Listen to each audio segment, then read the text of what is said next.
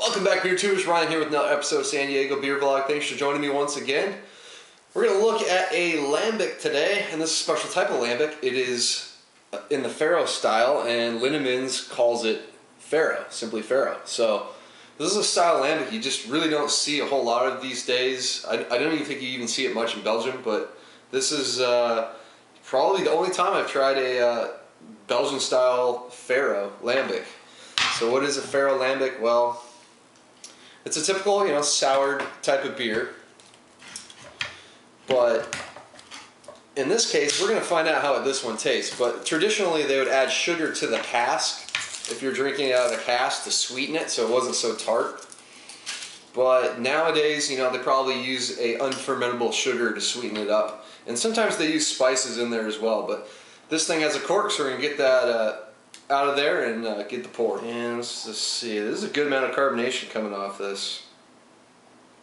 I know traditional lambics can be flat, whereas like gueuze is usually when you see carbonation because they're re-fermented in the bottle. This one's got a good amount of carbonation. It's a very, very clear beer.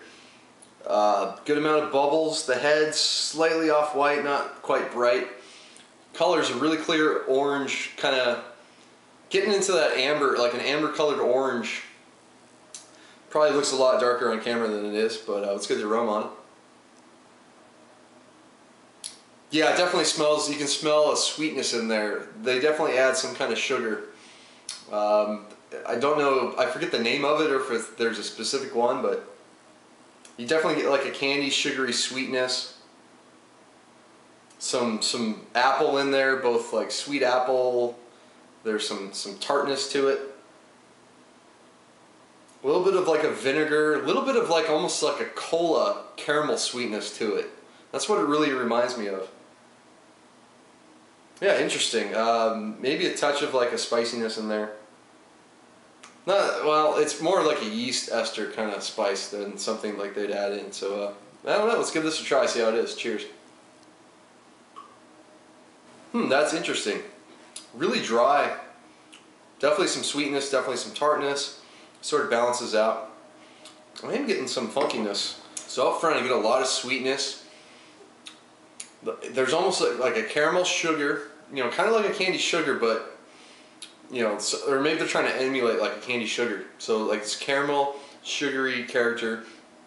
There's a lot of like a red apple skin character in there too, like this fruitiness, but it sort of has a bit of like a bitter fruitiness to it. And then uh, it's mostly sweet and the back end starts to bring out a little bit of a tartness, a little bit of like a lactic acid character.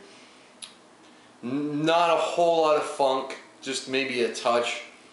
More of like a pear, kind of pear in the back end, a little bit of like a white wine.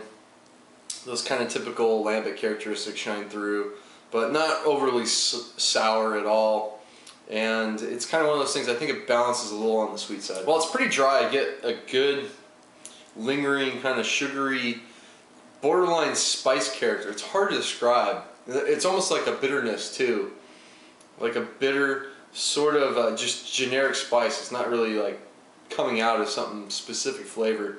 When that lingers around, I mean, the more I drink, it, the more I really get this sort of dry apple skin character to it. So it's it's it's a pretty decent beer. It's it's nothing that I don't think this is a good session beer. I wish it was more tart. I mean that's the thing with lambic. I like them because they're really tart, but you know they can be balanced and have some sweetness. But this one, you know that the sugar thing uh, is just not quite my thing. So maybe it's just a style. I don't know how this compares to other Faros. They're pretty pretty rare to find, and not a whole lot of breweries make them, but. So it's hard for me to kind of judge this one, but I'm going to go with the C. Um, you know, it's it's an okay beer. It's it's, it's average. It's nothing terrible. Uh, I'm glad that Lindemans produces it. Another shot of the ball. Lindemans Faro.